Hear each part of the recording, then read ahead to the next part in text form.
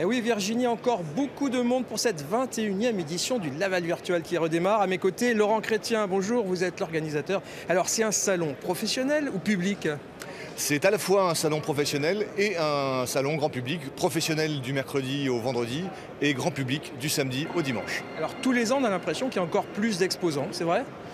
Alors jusqu'à l'année dernière, on faisait euh, sur les cinq dernières années à peu près 20% de croissance chaque année de, de nombre d'exposants. Cette année, on est au même nombre d'exposants. La réalité virtuelle, c'est un monde, un domaine qui, qui explose, qui a trouvé ses marques. C'est un domaine qui, dans le domaine professionnel surtout, a trouvé ses marques. C'est-à-dire que le grand public n'est pas encore, n'a pas encore accès à euh, énormément de- d'applications, euh, soit ludiques, soit éducatives, soit santé, mais c'est en train de venir. euh, et c'est très probablement d'arriver par euh, l'univers professionnel qu'on peut voir euh, sur, ces, sur ces premières journées du, du mercredi. Et puis alors, ça s'exporte, un salon au mois de juin, en Chine maintenant. Du 28 au 30 juin, ce sera la troisième édition de la Val Virtual Asia à Qingdao. Donc 5 journées de Laval Virtual et on attend près de 20 000 visiteurs.